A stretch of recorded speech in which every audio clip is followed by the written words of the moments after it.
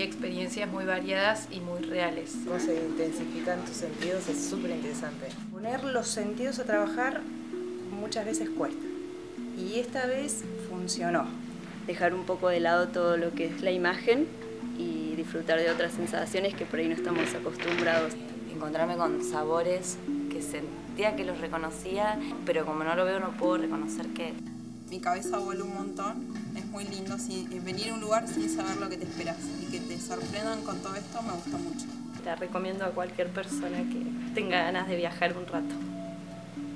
Gracias.